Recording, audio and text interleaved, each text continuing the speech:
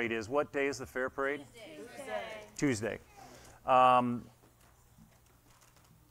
I was to remind you to if you that that there's going to be a group of people walking in the fair parade. There's no float for our church or for the for the kids this year, but there's going to be a group from our church that's going to walk in the fair parade and pass out candy and promote Jesus, right? Talk about Jesus and demonstrate a love and devotion and commitment to Jesus. So you're invited to come walk in the fair parade, um, and so be there ahead of time. I think, yeah. So, all right. So just wanted to encourage you that. Also, be in prayer, continued in prayer for Mike and Mary. Mary's still in the hospital. Mike and Mary, good. Uh, Mary's still in the hospital in Des Moines, battling all kinds of stuff. Um, she's had kidney problems. She's her ultimate issue is cancer, but on top of that, she's fighting diabetes and kidney issues and all kinds of stuff. So just pray that God will be near to her and comfort her and Mike. And it's particularly tricky for Mike to be going back and forth between Des Moines and, and Maquoketa. So just be in prayer for that family. Um, and we're going to just continue to try to come alongside that family and support them through this challenging season of their life. Well, listen, I, the reality is, and the truth is that all of us go through challenging seasons. And so I'm going to our call to worship is from the book of Lamentations. I know that's not one that you necessarily often read uh, for your morning devotions because it's a lament to God about our lives and the brokenness of our lives. Um, the writer of Lamentations says that God has driven me away. He's made me walk in darkness rather than light. He's turned his hand against me again and again all day long. Sometimes you feel like that, right? That God is against you and that there's all this bitterness and hardship in my life. Uh, he's made me dwell in the darkness and walled me in so that I can't escape. He's weighed me down with chains, and when I cry out for, for help, he, my, uh, he seems to shut out my prayer. Um, I remember my affliction and my wandering with bitterness and gall. I well remember them, and my soul is downcast within me. You feel like that this morning? You're just weighed down, your soul is downcast and you find yourself losing heart, losing hope, losing faith, then the writer says this Yet this I will remember, and therefore I have hope. Because of the Lord's great love, we are not consumed. For his compassions never fail, they are new every morning. Great is your faithfulness. The title of the message today is Questioning God's Faithfulness. Well, the, the word says, Great is your faithfulness. In fact, one of the names of God is the faithful one. He is faithful and true. Great is your faithfulness. I say to myself, The Lord is my portion. Therefore, I will wait for him. It's good to those whose hope is in the Lord. The Lord is good to those whose hope is in him. To the one who seeks him, it is good to wait quietly for the salvation of the Lord. God has promised to love and deliver and save his people. Sometimes we don't feel like it. Sometimes he, uh, we feel like he's far away, like he's taking too long. But we are going to put our hope in the Lord. His mercies and grace are new and fresh to us every morning. Great is his faithfulness. Why don't you stand with me and worship the faithful God?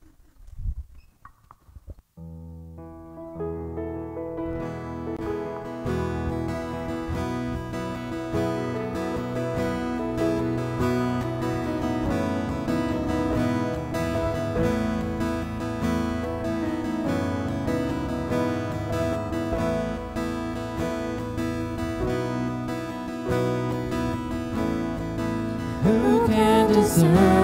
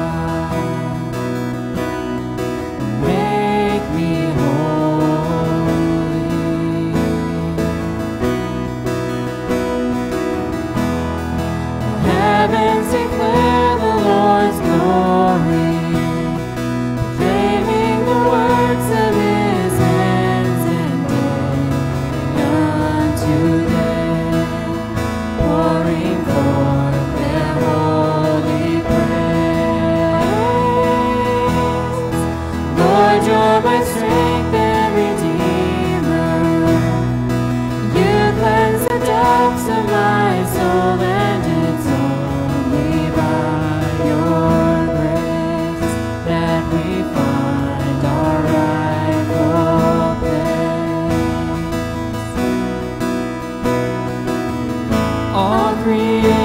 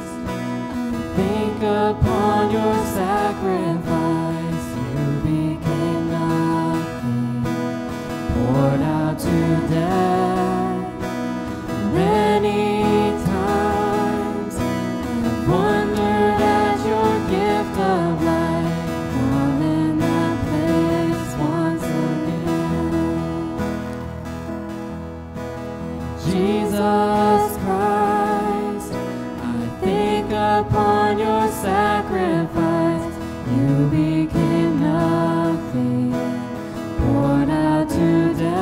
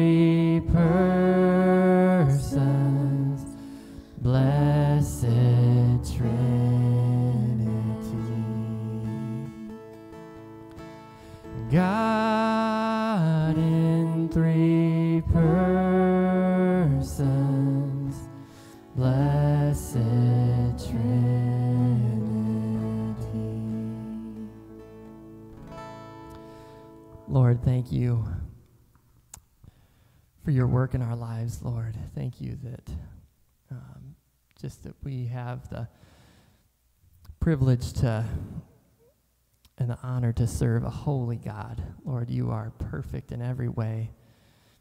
And how blessed we are to have such a perfect and good God. Pray, Lord, that you would bless Nathan as he comes. May his words be your words. Pray, Lord, that our hearts and our minds would be open, that your spirit would move within us, and that you would be glorified. In Jesus' name, amen.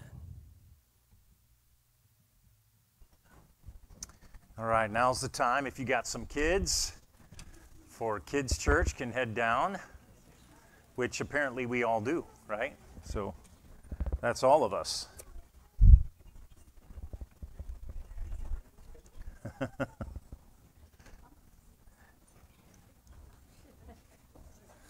all right, well, for those of you that are new or visiting today, we have been walking, talking, journeying, studying, teaching through the book of Isaiah, which just so happens to be the longest book in the entire Bible. Um, so we've uh, had a major undertaking here, um, but we're learning a lot. And God is teaching us a lot about Himself, and He's calling us back to relationship with Him. And we saw last week that God was bringing hope and sending hope into a broken, dark world through the person and work of His Son Jesus. Um, the, in these last few chapters, uh, um, into the 40s and 50s, chapters 40s and 50s, there are several servant songs that Isaiah, uh, there are four different servant songs, and last week was one of them. We saw that the servant of the Lord Jesus Christ, the Savior of the world, literally snatched victory out of the jaws of defeat by securing our salvation. And if you pick up, we're going to go ahead and go to the first slide here. Um, this is where we ended last week, Isaiah 49, verse 13. And it said, Shout for joy, you heavens! Rejoice, you earth! Burst into song, you mountains! For the Lord comforts his people, and he will have compassion on his afflicted ones. We were talking about that it wasn't just in the old days, in the ancient times, in Isaiah's day, that God's people felt uh, persecuted, abandoned, uh, struggling to make it. Um, they had come a long way since God had delivered them out of Egypt and into the promised land, and they'd been established as a, as a powerful nation, one of the greatest nations on the planet under King David and his son, King Solomon. The kingdom of Israel was in the glory days, and they'd come a long way in the last 300 years till the time of Isaiah was writing this. In fact, They'd been harassed by the nations around them, including Egypt and Assyria, and now Babylon was coming and was going to conquer them, and they were feeling like, where was God? He had promised to be our people. I mean, He promised to be our God, and, and He had promised to provide for us and protect us and uh, bless us and all of these good things, and now we're in trouble and there's no place to turn for help. And Babylon's coming. In fact, Isaiah had made a prophecy that Babylon was going to conquer them, and um, those that didn't die in the siege of Jerusalem would be taken captive back to Babylon for 70 years. And so, um, but even in the midst of that mess, God said, I haven't abandoned you. I love you. I'm going to send a redeemer, a savior, a comforter to come, and he's going to deliver you and rescue you um, and not just deliver you from your physical painful circumstances, but the greater suffering, uh, the greater salvation that is needed by the people of God is uh, saving us from ourselves, from our sin, from our brokenness, from our rebellion against God. That was the big issue. That's why they were going into uh, uh, uh, captivity in the first place was their rebellion against God, their idolatry, their immorality. They had shook their fist at God and said, "We don't want anything to do with you. We know better. We want to go our own way, do our own thing. We don't want. We're sick of you telling us how to live. Too many rules. We're going to live our lives apart from you, and we're going to and we're going to do just fine." Well, the truth is that when we turn our backs on God and we walk from the light into the darkness, the wheels start coming off. Human society, human relationships start breaking down. Um, and so we need a Savior. That's the point. And, and the message of Isaiah is that God is providing one in the person and work of His Son. Now, that was yet to happen some 700 years in the future, and He was declaring this prophetically that I'm not going to just rescue you out of Babylon, but I'm going to send a Savior who will rescue your souls and save you from, I will send a Savior who will save you from your sins, which is the far greater need. And so, what had been seemingly a defeat, and they were despondent and sad and wondering if God had abandoned them, was now they'd heard the good news of the gospel the good news that God was going to send a Redeemer, a Savior, and it was cause for great rejoicing and shouting and singing and celebration. I mean, it's the gospel is literally called the good news. It's actually the best news of hope for redemption and reconciliation for those who are far from God. But somehow, we tend to do this, don't we? Even in the light of God's message of hope and salvation and redemption and reconciliation through Jesus, his Son his people still managed to snatch defeat from the jaws of victory. God was snatching victory from the jaws of defeat, and they were snatching defeat right back, right? And I'm sure, uh, listen to what they say. So here's the start of verse 14. So shout for joy, verse 13. Look at verse 14. But Zion said, The Lord's forsaken me, the Lord has forgotten me. So here he's calling them to shout for joy in their weeping in their beds at night, right? I'm sure at one time or another in your life you've been on the receiving end of, of negative news or bad news or bad messages or negative messages. Sometimes they come from us, sometimes they come from around us. I was talking with our men's group this week. We were discussing the negative messages that many people have received and heard from their fathers. Young men growing up saying, you know, hearing, you're never going to amount to anything. You're too stupid and lazy. Um, I know uh, that I have to often go back to my kids and say, I'm sorry because I've lost my patience or my temper with them. I've said things to my kids that I have regretted, and I don't want them going up, growing up with these negative messages replaying in their heads, right?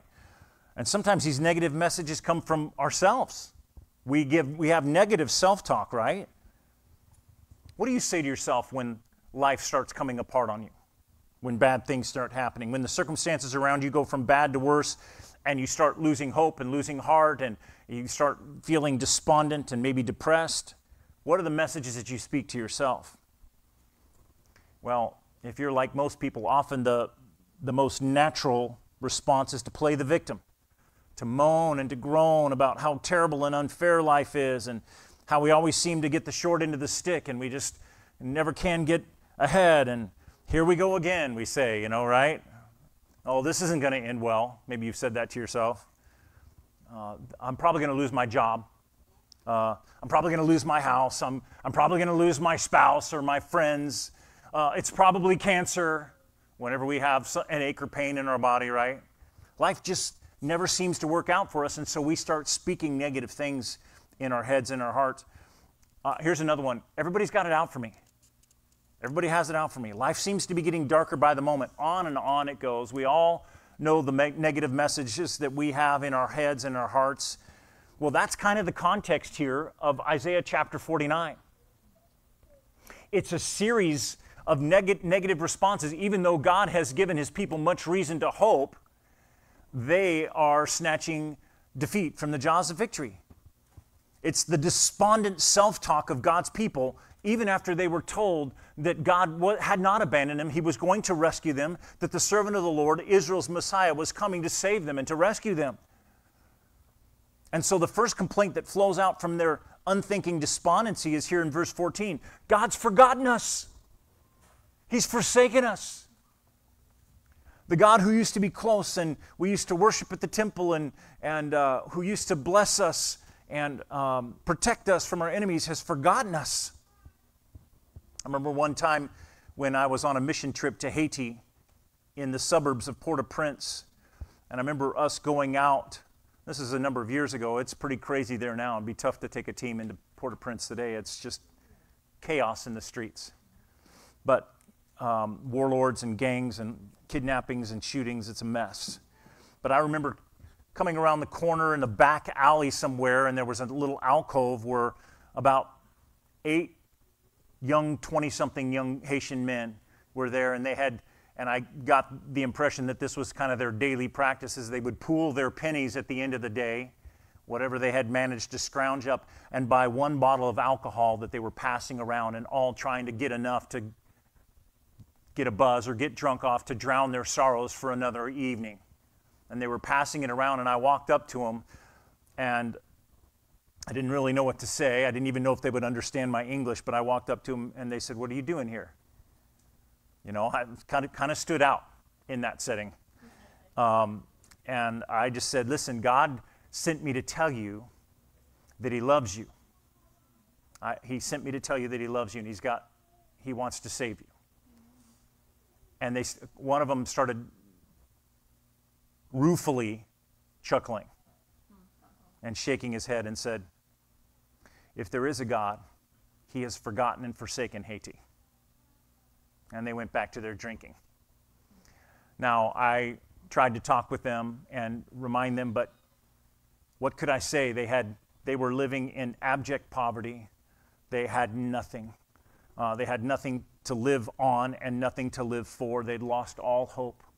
And they said, If there is a God, he's forgotten Haiti. Well, I don't know if you've ever been to that place where you've gotten so low that you've made that statement. If there is a God, He's forgotten me.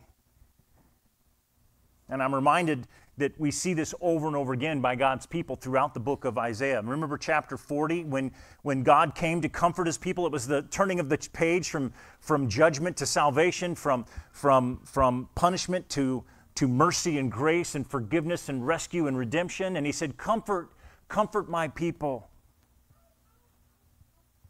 And then they said, and then, but then, even as he's giving them a comfort and promising his salvation, then he has to ask them, But why are you complaining, Jacob? Why are you saying, Israel, that my way is hidden from the Lord, that my cause has been disregarded by my God? God's forgotten me. He doesn't care about me, he doesn't care about what's happening in my life. How could they say that? How could they even think that in light of God's promises? Well, it's easy when we take our eyes off of God and the truth and the reality and we begin to hear negative messages and the message of our culture and the message of, of our family and friends and even our own negative self talk. We can get in a pit of despair really quickly. Even David, a man after God's own heart, wrote Psalm 42 and 43 where he's like, Why so downcast, O my soul? Why are you so disquieted and, and frustrated and disappointed and empty within me? This is a man after God's own heart. He'd, he'd completely forgotten God. He said, I've been crying all night. My prayers seem to be bouncing off the ceiling. God is distant from me. I don't know where you are. We feel like God has abandoned us. And they're saying it here again in chapter 49. The Lord has forsaken me, He's forgotten me.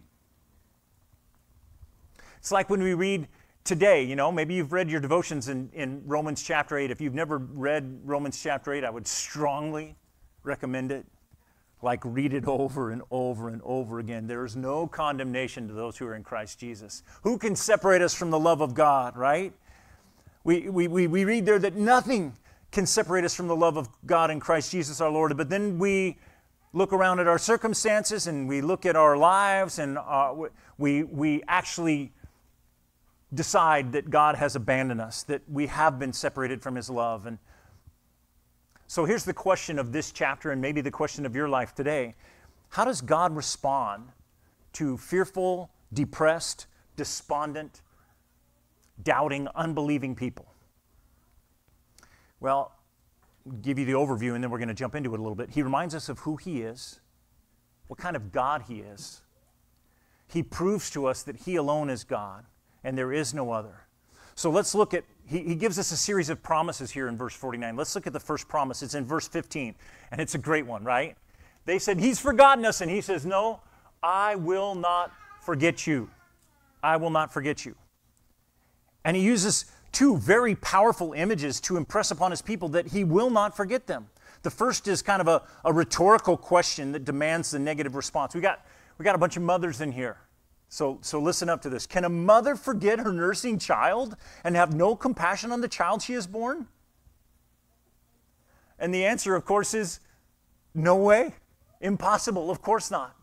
How could a mother forget her nursing child? this child that she's carried in her womb for nine months. Think about the deep, abiding, and nurturing love of a mother for her newborn infant. There's no greater picture of, of an intimate bond of love and dependency and nurture than that of a mother and her nursing baby. And so you, you mothers know, and you've experienced this, you, you, you can understand, relate to this. You've literally, you've literally given, given life to this baby.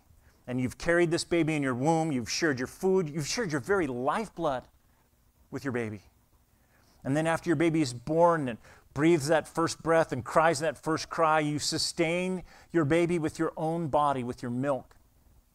I mean, there's a God designed love and incredible bond between mother and child that's just powerful, incredibly powerful. And I, I dare say all of you mothers would, would and is offering laying down her life for her child, right? And so now, in light of that relationship, listen to what God says his people to, his, to, to, to reassure them. You all know the, the, the love of a mother for her nursing child. Now, a mother, he says this, a mother would sooner forget and abandon her nursing infant than I would forget you.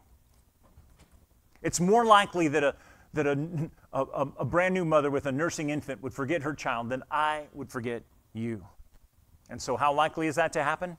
like zero, right? Here's the second image. He says, Though she may forget, though she may forget her child, I will not forget you. And then he says, See, I've actually engraved you on the palms of my hands, and your walls are ever before me. Here's the second image God Himself is tattooing, carving the names of His people on the palms of His hands uh, when my son Drew was released from prison at the end of last February after seven years of incarceration. He did something that really surprised me, shocked me. He tattooed his prison inmate number, his, his Iowa State Prison ID number on his own wrist. And it surprised me. I was like, wouldn't you want to forget that? Wouldn't you want to put that life as far from out of your memory as possible, just to forget it and be done with it and to move on? So I asked him why he did, and he said, so that I never forget so that I never forget how bad that was and what I learned, learned there, and that that memory, memory will hopefully, still praying, hopefully motivate him to keep from ever going back there. He goes, I don't want to ever go back. And I, every time I look at my watch, I see that number, and I'm reminded that I don't ever want to go back there. I don't want to forget. I do it so that I don't forget. I was surprised by his answer. And this is kind of the same idea. God says, I have carved your names engraved your names on the very palms of my hands. And he spreads out his people, uh, his hands to his people. He said, Look, you see your names on my hands. You see the marks in my hands. This is maybe even, even illusion when we get to Isaiah 53 of the, the hands of Christ that were pierced for our transgressions, right? He said, I would sooner forget what it cost me to purchase your redemption out of captivity than to forget that you're my people. I don't want to forget. I won't forget. I will not forget you. I've carved your very names on the palm of my hand so that I will never forget you. Do you see how profoundly loved, loved you are by God? He says, The love of a mother for her nursing infant pales in comparison to my love for you. I don't want to forget you. I haven't forgotten you. All you have to do is see your name written on my hands. And I, am reminded of you every day. And yet, in spite of these powerful declarations of love from the true and faithful God, God's people respond, Yeah, but it's been so long, Lord, and, and so much has been lost. And, and so much has been destroyed. It's too little, too late. Um, when the, Babylon, when the Assyrians came and when the, uh, the Babylonians came, our children, uh, and Jerusalem was laid siege to, our children were killed and ravaged and taken captive, and the city, city's been reduced to rubble and the walls been torn down. There's no coming back after this. Isn't that evidence that you've forgotten us? Again, arguing with God about whether or not He has forgotten them or abandoned them. Maybe you've felt this way in your life. Uh, I've gone too far this time. It's been too long since I've talked with God. We're not on speaking terms. Uh, if I tried to speak, I don't even remember what to say, and if I did, He wouldn't hear me. Uh, the damage has been done. It's too great. The gulf is too wide. It can't be undone. It's just, I've gone too far. I've done too much. It's too late. That ship has sailed. Um, over the last couple years, Amy and I have learned some hard lessons uh, about letting our adult children go. It's hard because we remember the nursing infant at the breast, you know, we remember these days and how dependent and how uh, loving and kind and nurturing and, and uh, the, the bond that was there. And then they learned to talk, and then they learned to walk, and then they learned to run away from us. Right? And it's been a, a, a challenging season, even with our daughter Mia, who was just married a few couple weeks ago.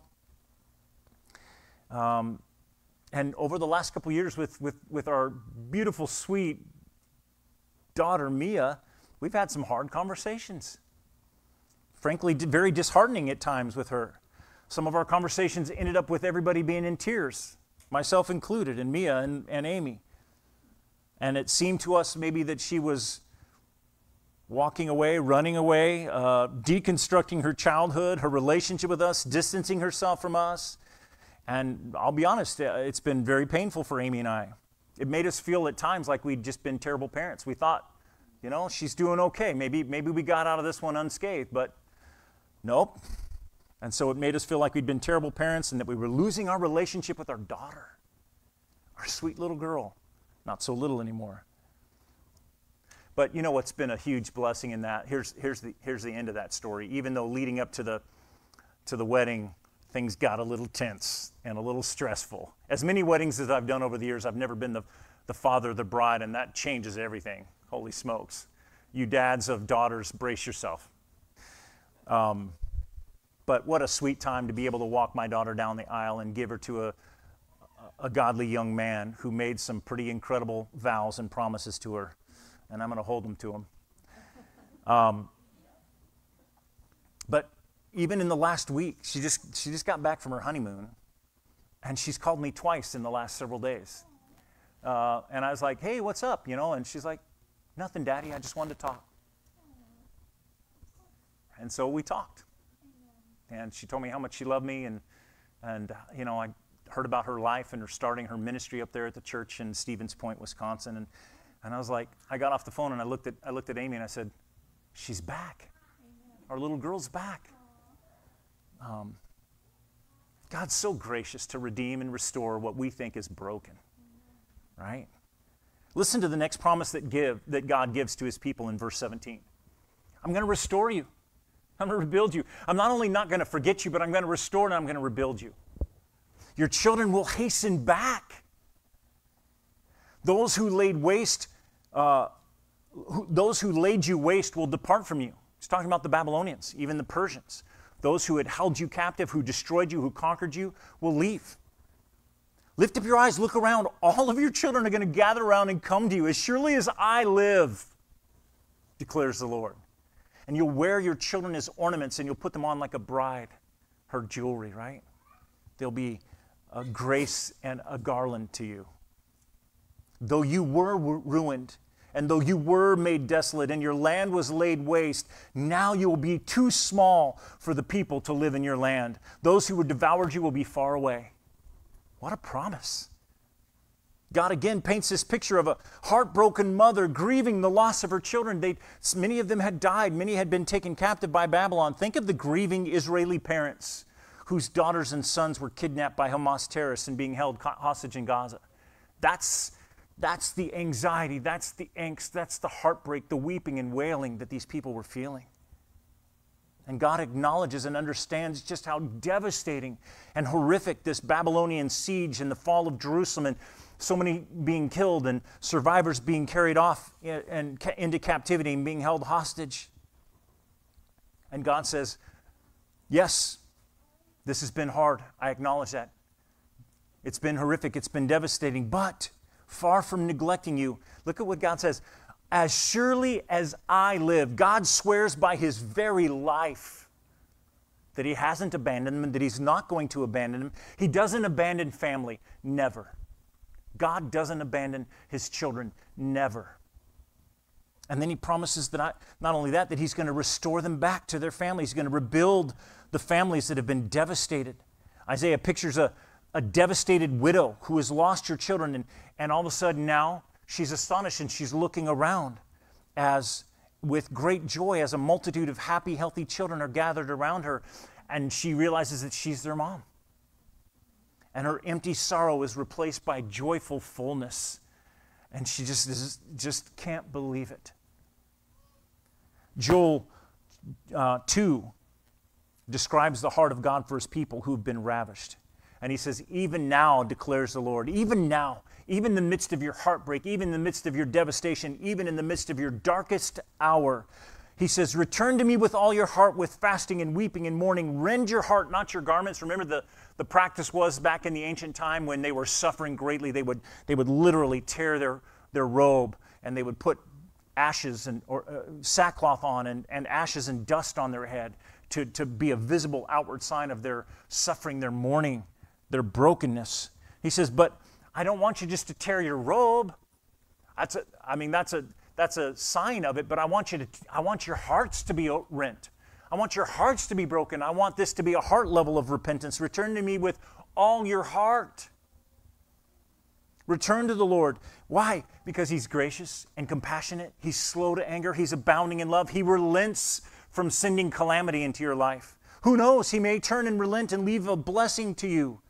And the Lord, for the Lord was jealous for his land. He took pity on his people. The Lord replied to him, I'm sending you, even after your devastation and all had been lost, I'm going to send you grain and new wine and new olive oil, enough to satisfy you fully. They had been through drought and devastation and a locust plague. And he says, Never again will I make you the object of scorn among the nations. I'm going to restore the, the years that the locusts have eaten, and you'll have plenty to eat until you're full. And then you will praise the name of the Lord your God who has worked wonders for you. Never again will my people be ashamed. And then you will know that I am in Israel, that I am the Lord your God, and there is no other. Never again will my people be ashamed. God says, I haven't forgotten you. By my life, I'm going to restore you. I'm going to rebuild you. I'm going to rebuild your people. After the conquest of the northern tribes of Israel by Assyria and the southern tribes of Judah by Babylon, the ancient conquerors would kill a lot of people, and those remaining, they would take them captive out, out of the land, and then they would repopulate the land with people from their countries and basically assimilate and obliterate that nation from the face of the earth. And this happened over and over again. Uh, many, many nations that once lived in that region, they're just uh, uh, historical people now. They're not a living people. But God promised, I'm not going to let that happen to you. And by the way, it had never happened before. Never had a people been so conquered and taken captive that they returned back and were restored back to the land. It never happened. So you can understand why they might be a little skeptical. Now, he's not just, just describing a, a population explosion of the Jews in, in Babylon. He's talking about the future of his people when he restored them to the land. Some of this prophecy was, has been fulfilled in, in our lifetimes, you know, in 1948, the returning and the restored to the land. Even after the great Holocaust of World War II, there are some 15 million Jews in the world at this time. I think some 8, 9, 10 living in Israel at this time. Um, and God is restoring. And this is not just pointing to Israel, He's pointing to His future people the church, that's us. We who were once not a people are now a people. Uh, because uh, God's people, Israel, rejected their Messiah, their Savior, he said, I'm going to make you a light to the Gentiles, to the nations, to the ethnos, to all the peoples of the world, because God's plan for salvation was never just for the Jews. It was for the Jews first, but also for all the rest of us. And so now we have multitudes upon multitudes of people who have put their hope in God and have been saved and rescued. And now there was once not a people, we're a people, a thriving, growing church. And so God's promises are being fulfilled even in our gathering here this morning. Let's go on to verses 20 and 21.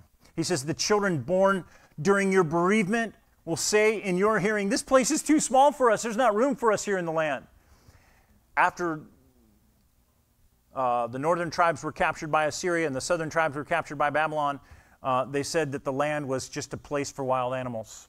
Nobody, it was uninhabited for the most part overgrown with briars and thorns and weeds and scrub oak and, and wild animals live there. And now he says there's coming a day when, they're, when the people in the land are going to say, This is too small, there's not enough room for us. Give us more space to live in.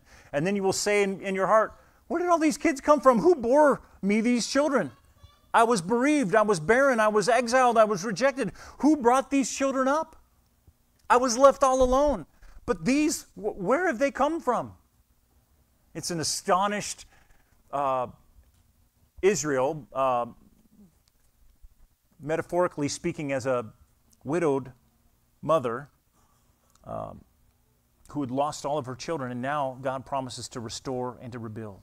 Even through the hardest and most difficult times, God promises that one day his people will look around in amazement and declare, How is this possible? How did this happen? Where did all these children come from? Where did all these people come from? Sometimes I look around at you and I go, I ask the same thing. What are you doing here? Why are you here? This is this has to be God. The growth of the church will be supernatural and far reaching, so much so that it won't ever be able to be explained by human plans and programs and agency that we did this. No, we didn't do this, God did this. It won't be our faith or our efforts that build this church. Christ has promised to build his church, to build his people, but only God's deep resolve and commitment to show mercy to more and more sinners and to rescue and to redeem and to pull them literally out of slavery and out of sin and death and bondage into the glorious light of his kingdom. That's what will account for the growth of his church and the restoration of his people. And one day, as we celebrate the marriage supper of the Lamb in the kingdom of heaven, we're going to be declaring in utter amazement I thought I was all alone. But look around. A multitude from every tribe and language and nation is here. How did this happen? Where did they all come from? And we'll be blown away by God's response. Look in verse 22. This is what the sovereign Lord says See, I'm going to beckon the nations and I'm going to lift up my banner to all the peoples, and they will bring your sons in their arms and carry your daughters on their hips. Kings will be your foster fathers, their queens will be your nursing mothers, and then they will bow down before you with their faces to the ground. They will lick the dust at your feet, and then you will know that I am the Lord. Because only God can do that. Those who hope in me will not be disappointed. Those who hope in me will not be disappointed. God is so sovereign. God is the Lord of heaven and earth, but He's the Lord of human history. He's so sovereign over human history and over the nations that He will bend every power on earth to work for Him and for the accomplishing of His redemptive purposes in the world. Redeeming, restoring, rebuilding His people. He's going to use the nations to do that. Think about how He used King Cyrus to send his people back and gave them all the resources they need to rebuild the walls and the temple of Jerusalem. Think how he used King Ahasuerus when Haman had uh, conspired to kill all the Jews in the Persian Empire on one day.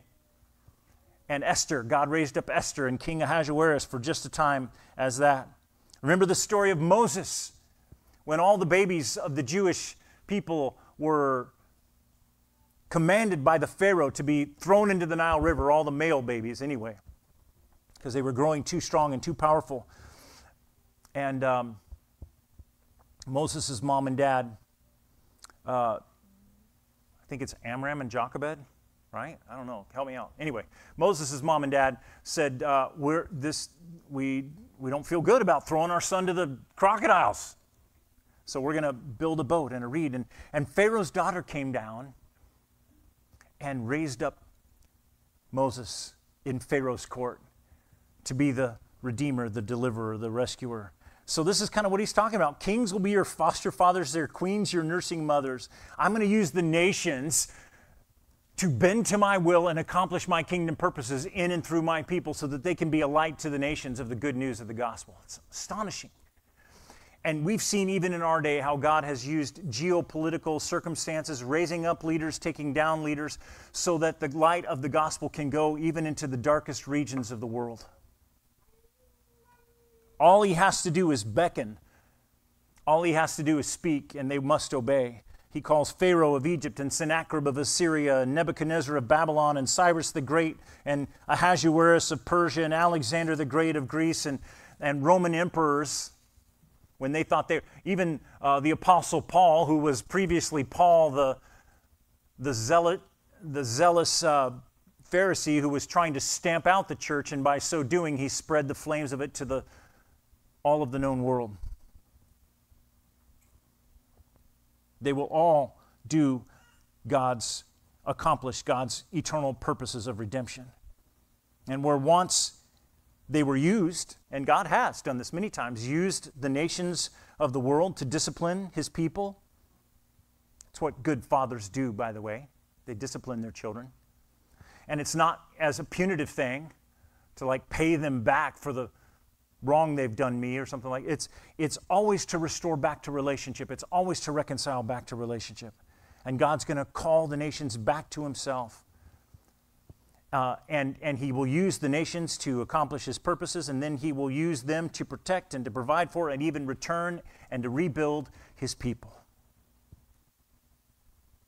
and as in these last days as we get closer to the return of, the, of christ we see that god is orchestrating sovereignly ruling and orchestrating the geopolitical events of human history to spread the gospel and to build his church. He's doing it now, today, right in front of our eyes. Gospel breakthroughs in previously unreached places and unreached people groups are accelerating, barriers are breaking down. The rise of globalism has facilitated the spread of the gospel, and the church of Jesus Christ is growing. The Most High God is sovereign over the kingdoms of men he told Nebuchadnezzar, and he gives them to anyone he chooses. And that should give us great comfort in these crazy days that we find ourselves living in, right? We're heading into an election in November in our country, and our world, our, our nation is in some turmoil. There's a lot of hand wringing, there's a lot of fear mongering, there's a lot of negative self talk going on right now. And God reminds you today that He's in control, He's sovereign, over the nations. He raises up a president and he deposes a president. And he's sovereign over them and he gives them to whomever he chooses. Our hope can never be in a president or some world leader. Our hope is in God alone. Jesus Christ is the only Savior. There is no political leader that can save you. And as God moves and works in this dark and broken world, He says, I want you to know. I'm moving and working so that you will know that I am the Lord and those who hope in me will not be disappointed. Some of you may have in your translations, those who wait on me will not be disappointed. That's that um, expectancy, that's that trust, that's that confident hope, a resting faith in God that He will do, He will accomplish His good purposes, and I need not fear. God is making an incredible promise here to His church, to His people, to us, to build His kingdom, to build His church. And, and again, I, I, I shouldn't have to say this, but I do in this day, in this climate. He's not building any earthly political kingdom. This is a spiritual kingdom, hearts and minds. This isn't, this isn't uh, a, a political kingdom from the top down. This is one soul, one heart, one mind at a time who know and love and follow Jesus. And the recurring theme throughout this passage, Isaiah 49, is God's attempt to overcome his people's unwillingness to believe, believe what he says, to take him at his word, to trust him, to put their hope in Him, to wait patiently on Him, in spite of the fact that God calls His people to patiently wait on Him, that, that is, to take Him at His word and believe Him and trust in Him, they're refusing out of fear or unbelief or impatience. Can we relate to that? God's not doing it how I would do it, He's not doing it when I would do it. If I was God, I'd do it differently. And so they refused to trust Him. Instead, they gave up on God. They turn to accommodating and assimilating into the culture of Babylon. They go, it's too far gone, it's too late.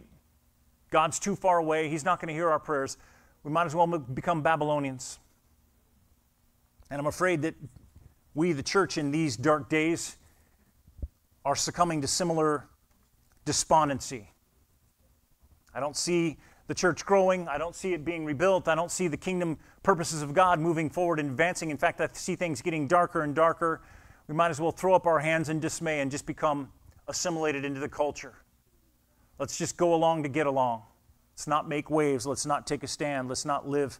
Uh, let's not be countercultural and, and uh, cause problems for ourselves. The pressure to conform to the culture around us is relentless and intense. And it often seems that God makes his people wait so long for the fulfillment of his promises that they lose heart and lose hope and give up. But the Apostle Peter calls Christians to be patient and expectant and have faith while we wait, hopefully, patiently. He says this In the last days, scoffers will come, scoffing and following their own evil desires. They'll say, Where is your God? And where is this coming that he promised? He's not coming. Ever since our ancestors died, everything, his, history's going on as it has since the beginning. And then Peter says, But don't forget this one thing, dear friends. With the Lord, a day is like a thousand years, and a thousand years like a day. The Lord's not slow in keeping his promises, as some people count slowness. Instead, he's being patient with you and with so many not wanting anyone to perish, but everyone to come to repentance. You know why he's waiting right now? Because he's merciful and gracious, and because he knows that when he returns to separate the believers from the unbelievers, the sheep from the goats, to reward the righteous and to punish the wicked, there's going to be a much bigger category on the wicked side than on the righteous side. There's far more unbelievers than believers, and he wants more to be snatched from the flames and brought out of darkness and captivity and slavery and bondage into his glorious light, into his kingdom. He wants to adopt more children into his family. He wants to grow the family. And so he's patiently waiting for more and more kids to come in. But then he says, Peter says again, this is 2 Peter chapter 3, but the day of the Lord will come like a thief in the night. In other words, no one knows when the thief's showing up. The heavens will disappear with a roar, the elements will be destroyed by fire, the earth and everything done in it will be laid bare. It's not going to be a pleasant time when Christ comes to judge the earth. And since everything's going to be destroyed in this way, what kind of people ought you to be? He's talking to the church, he's talking to Christians. You ought to live holy and godly lives as you look forward to the day of God and, listen to this, speed its coming. Do you know that we can actually speed the return of Christ? Do you know that? Now, we don't know the day or the hour, but we can actually hasten or speed its coming. How? Well, he says we're called, yeah, let's do it right now. We're called to be holy, live faithful, obedient, godly lives, and boldly proclaim the gospel because he's waiting for others to come to repentance. So we need to be on mission, living faithful, godly, obedient lives, declaring the good news of the gospel, rescuing souls from the fire. Live faithfully, live patiently, obedient lives, and boldly proclaim the gospel in order to hasten his return. But listen, even these promises elicit the promises to rebuild and restore his people, they elicit another negative response by God's despondent, despairing people. Look in verse 24. And they said, Well, really, this has never happened before. Can, can plunder be taken from warriors? Can captives actually be rescued from the tyrant? It's never happened. You, you're saying this is going to happen. We don't believe you. But this is what the Lord says Yes, Yes, captives will be taken from warriors, even fierce warriors, and plunder will be retrieved from the tyrant. And I will contend with those who contend with you. Ooh, that's good news. Dad's coming to beat up the bullies. I will fight for you. And your children I will save. I told you that story about in fourth grade when I was getting beat up by some bullies on my bike. They were trying to steal my bike and beat me up bunch of, bunch of eighth grade boys kind of caught me on the corner. And my dad came driving around and screeched to a halt in his truck. And they went, oh! My dad jumped out, big 6'6, 280, starts trucking after him. And they scattered, man. I get that, I get this image. I will contend with those who contend for you. Dad's coming. Amen. And the bad guys are going to run, right? Your children I will save. I'll make your oppressors eat their own flesh. That sounds dramatic. They'll be drunk on their own blood as with wine.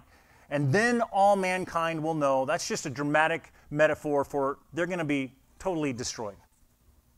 Then all mankind will know that I, the Lord, am your Savior, your Redeemer, the mighty one of Jacob. So you can understand this question because this has never happened before. Never had a people who'd been conquered and taken captive ever been returned and rebuilt and restored back to their land. It just, it just hadn't happened. So you could understand the question that how could this even be possible? Who could possibly be stronger than the Babylonians and King Nebuchadnezzar, right? Or, or than the Persian Empire and King Cyrus the Great, who conquered the Babylonian kingdom. He, he was the greatest king of ever. Who could possibly? Who's stronger than the one who's enslaved us? Have you ever felt that way? completely enslaved, uh, absolutely powerless to break, break free, unable to change your circumstances, to get out of the mess you're in, just helpless, hopeless. It's not a good feeling. And they're despairing. You know, it sounds really good, Lord, but we, I, I don't, we don't see how that's possible. And his response is to those who are held captive to his people I'm coming to get you.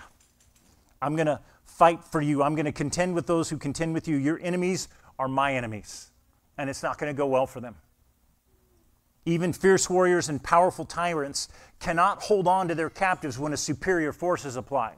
Here was the problem they underestimated the power of their God, they overestimated the power of Babylon and Persia. In Matthew 12, Jesus asks this question of his disciples How can anyone break into a strong man's house and carry off his possession unless he first ties up the strong man. In other words, you don't break into somebody's house that's bigger and stronger than you unless you can tie him up and, and, and plunder the house. Then he can plunder his house. And what's he, what's he saying? What's he saying? Well, what he's saying is the things that I'm going to do, I'm proving by, by my actions that I'm the strongest power in the world and no one can thwart my will. I do whatever I please, and it's good.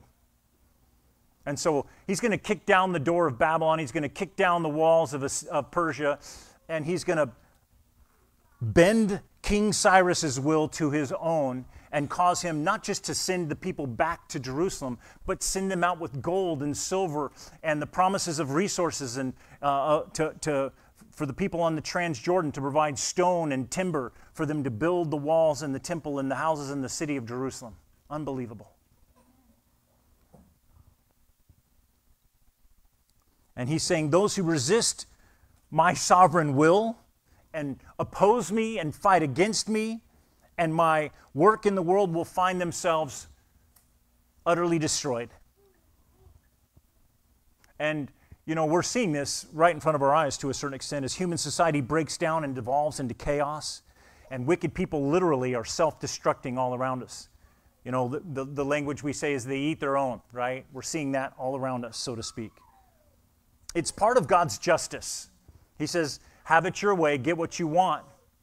If you want to live life independently of me, then you can reap what you have sown. You can experience the consequences of your own actions.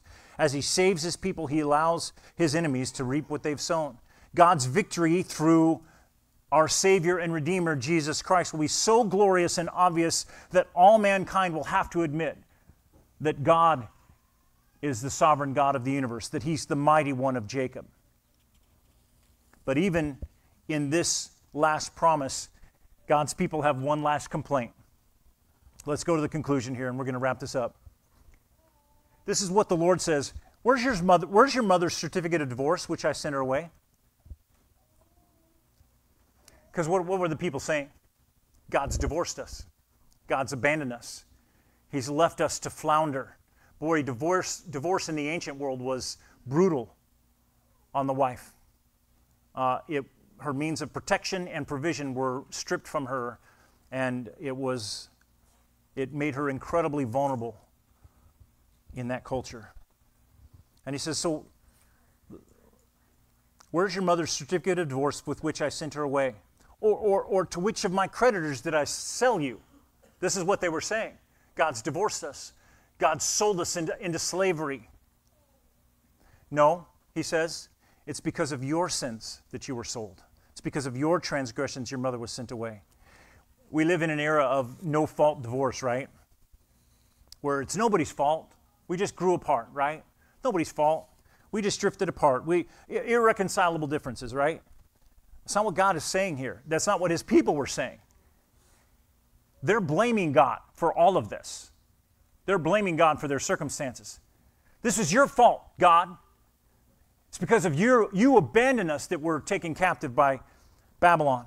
You're the one that sold us into slavery, handed us over to the Babylonians, and understandably they feel angry and hurt and, and abandoned.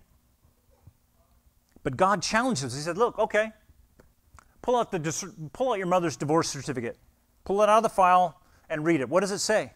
What are the charges? And then God asked him, Was it my failure? My unfaithfulness as a husband? By the way, that's the language of the Old Testament. They had a covenant, they had a sacred covenant. So it was like a marriage covenant.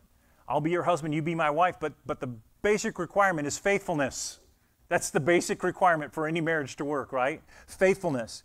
he says, Was I unfaithful to you? Or were you unfaithful to me? Who actually destroyed the marriage? Is it honest or fair or even helpful for you to keep blaming me on the consequences of your own unfaithfulness and, and rebellion, your, your idolatry and immorality? Back in the ancient world, too, if, if you couldn't pay off a debt to a creditor, it was totally appropriate for them to come in and sell your entire house and all your possessions, including your wife and children, to pay off the debt. And that's what they're accusing him of. You sold us all off into slavery. You've sold us all, all off into slavery to pay your debt. And he says, if you feel like property that's been sold off to pay the debt to my creditors, um, he asks them this question. Think about that. think about that. To who am I indebted on this earth? Who are my creditors? To whom do I owe anything? No, the truth is, you're experiencing the consequences of your own sin. When God established his covenant with them at Mount Sinai, along with all of the blessings and the, uh, the benefits of this covenant relationship, came a warning of what would happen if they were unfaithful to him, if they were disobedient to him, if they chose to worship other gods. I mean, that was the first one, right? You shall have no other gods before me. You shall not make any uh, images and what's the very first thing, even as he's getting the Ten Commandments, Moses is getting the Ten Commandments up on Mount Sinai, the very first thing they do is break number one and two. And then a few more along the way as they're partying. And God's like, I haven't even, I haven't even finished writing this. He's like, you better get down there before I do. Don't make me come back there, right? And and uh, man, he says, I haven't been unfaithful. I promised that I would go before you and I would protect you and I'd fight your battles and I'd, I'd bless you and I'd give you a land and I'd give you a people. And you who are not a nation are going to be a great nation. And through you, all the nations of the earth are going to be blessed. I'm to, through your seed, I'm going to send a Savior that's not just be a Savior of the Messiah, the Yeshua HaMashiach for the Jews, but the Savior of the world. And all I ask in return is that you love me that you worship me, that you stay faithful to me. That's kind of a basic requirement. We've been talking about that a lot in our household with uh, uh, Mia and Jarrett. They wrote their own vows, and they were incredible. They're a whole lot easier to write than to keep, though, aren't they? They're a whole lot easier to say than do. You know, most people, when they say for better, for worse, they mean for better. And, and, and for sickness and in health, they mean health. And for richer and for poorer, they mean richer. Because when sickness and poor and, and, and worse comes, uh, people get a little antsy. This isn't what I thought it was going to be. You're not meeting all my needs. Uh, uh, the grass is greener on the other side of the fence. You're not keeping up your side of the bargain. They're blaming God for his unfaithfulness. He says, I didn't go anywhere. You left me. You're experiencing the consequences of your own unfaithfulness.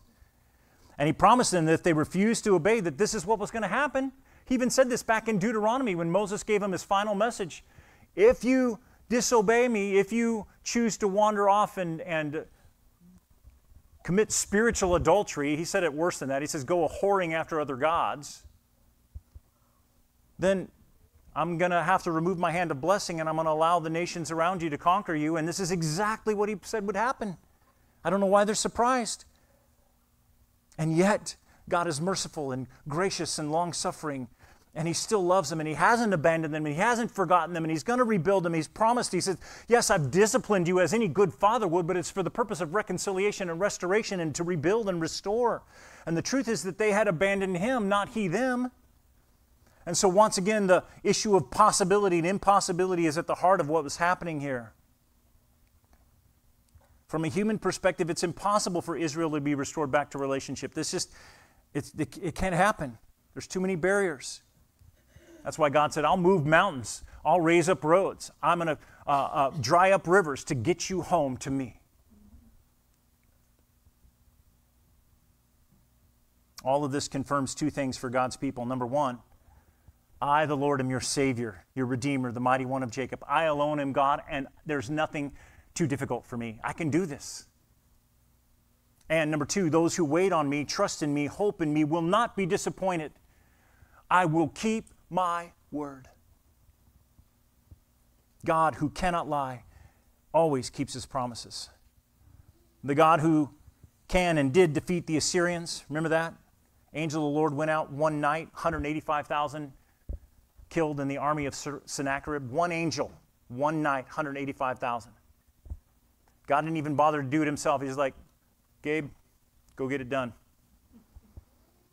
One night, 185,000. This is the kind of power of our God. He, he raises up kings. King Cyrus the Great of Persia, one of the greatest Persian kings he sent, he used to send his people back, and he can defeat the evil one, the little g god of this world, the prince of the power of the air, right? He can defeat the evil one who has held you captive, has control in your life, has the power of sin in your life. He's not going to force himself on you, though. He's not going to do these things for you against your will if you don't give him the opportunity. No one's saved against their will. You've got to respond and turn back to him in repentance and faith and put your hope and trust in him. Wait on him. Let's look at the last two verses for today. God said, When I came, why was there no one? When I called to you, why was there no one to answer? Was my, my arm too short to, to deliver you? Was, do I lack strength to rescue you and save you? By a mere rebuke, I dry up the sea. I turn rivers into a desert. The fish rot for lack of water and die of thirst.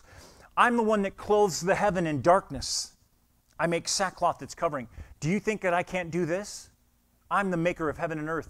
I, I command the stars and they shine, right? This is, this is not too hard for me. Notice that all the initiative and all the power is from God and not from us. He's the faithful one. He's the reconciling one. He's the restoring one. He's the one who, who comes to us when we could not come to him. We can't rescue ourselves. We're powerless. We lack the strength. We lack the willpower. We lack the desire. We lack the desire. Babylon's looking pretty good to us at times. We get pretty comfortable in our lives. We're good, Lord. You know, when things turn south, maybe I'll cry out to you, but I'm doing pretty well right now. We lack the desire to come to Him. So He came to us when we couldn't come to Him. When we were powerless in our captivity, Paul puts it this way you were dead, separated from God in our transgressions and sins. And we were slaves to the ways of this world and the ruler of the kingdom of the air, that's Satan. All of us lived among them, gratifying the desires and cravings of our own flesh. We were following around our own fleshly. That's why it's dangerous, by the way, that whole mantra that we've got today follow your heart. Follow your heart. You don't want, no. I know some of your hearts. We've talked, we've had some heart to heart talks, and there's some darkness there. There's some darkness in my heart. I don't want to follow it. It's gonna it's the primrose path to hell. And all of us were at one time gratifying the cravings of our flesh, following our desires and thoughts. It's not just our actions, it's actually our sinful desires that are that are enslaving us as well. Like the rest, we were deserving of God's wrath. But because of his great love for us, God, who is rich in mercy, he made us alive with Christ even when we were dead. That's how God showed his love for us. He proved his love. He demonstrated his love for us. Even while we were still shaking our fist in rebellion against him, he sent Christ to be the light of the world into our darkness to redeem us and save us from ourselves. Rich in mercy. Even when we were dead in transgressions and sins, he is by grace you have been saved. So, as a result of the power of God that saves us, in Romans 8, Paul asks, If God is for us, then who can be against us? The one who did not spare his own son, but gave him up for us all, will he not also graciously give us all things? He gave us the most important thing. All the rest is gravy, right? Who, all, who can bring a charge against God, God, God's elect or God's, who, those who God has chosen? It is God who justifies. So who can condemn us if God declares us his children? Who can say we're not? No one. Christ died, even more than that. He was raised to life. He's now seated at the right hand of God, and He's interceding for you. He's advocating for you right now before the throne of the Father. And then He says, Because of that, who can separate us from the love of Christ? Shall trouble or hardship or persecution or famine or nakedness or danger or sword? He says, No. In all of these things, we are more than conquerors. Why? Because we're strong? No, but because our God is, our Savior is. We're more than conquerors through Him who loved us. I'm convinced that neither death, nor life, nor angels, nor demons, nor the present, nor the future, nor any other power, nor height, nor depth, nor anything else in all of creation will be able to separate us from the love of God that is in Christ Jesus our Lord. Do you believe that? If you do, then why do you and I so often try to snatch defeat from the jaws of that victory? That's a declaration of victory on your behalf. We are more than conquerors through him who loved us. That's victory. The victory is ours. His victory on the cross and over, over uh, death and over sin and over hell is our victory. He's imputed it to our account through repentance and faith. God has conquered sin and death in order to rescue you. So here's the question Is there anything that He can't overcome? In fact, we're declared overcomers with him. No, he's strong, he's capable. Nothing is too difficult, nothing is impossible with God. So then he asks again his people, Why, when I called, you didn't respond? When I offered rescue and salvation, did you not? When I reached out my hand and offered you salvation, did you not take it? Why not?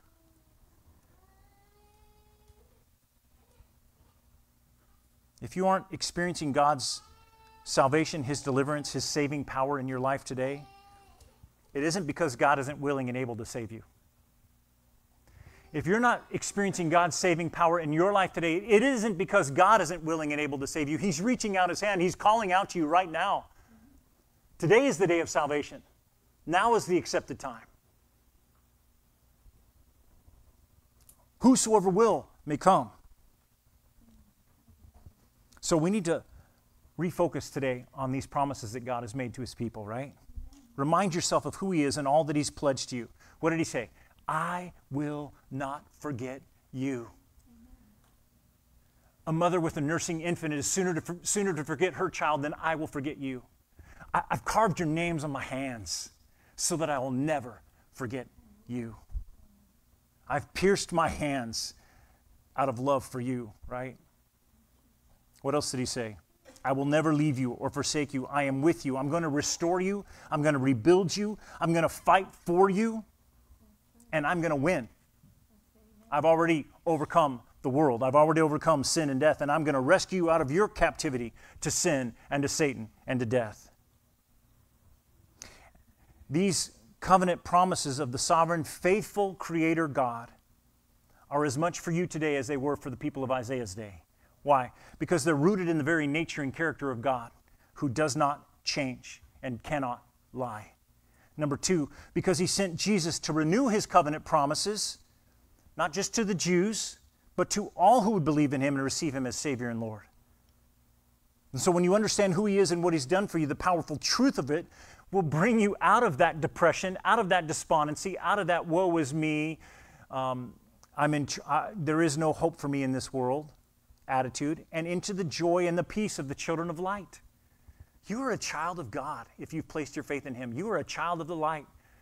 Start believing it. Start hoping in Him. Get your eyes on Him. Remember the promises He's made to you.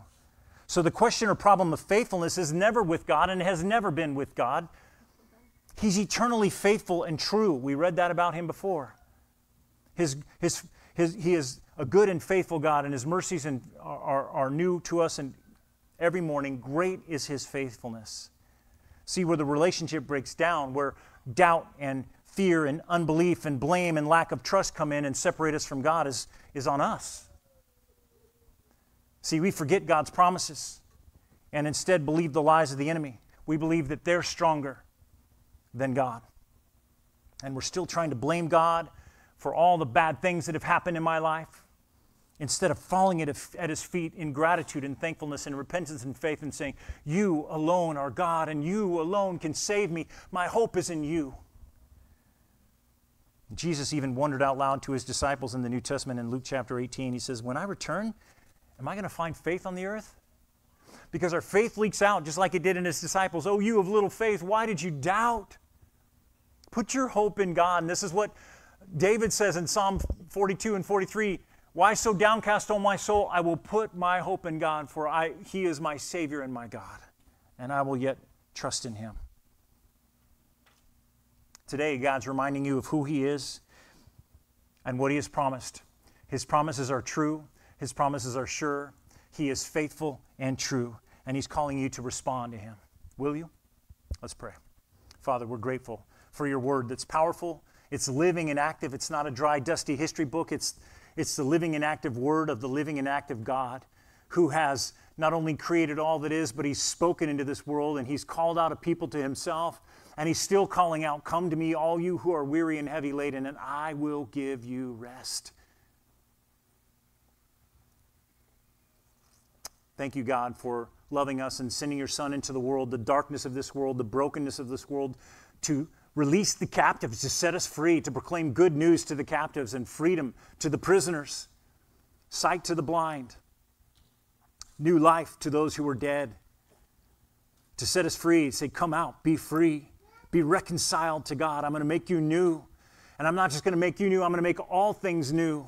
So wait in me, hope in me, trust in me. And if you have never placed your faith in Jesus Christ, may today be the day that you reach out and take his offer of salvation.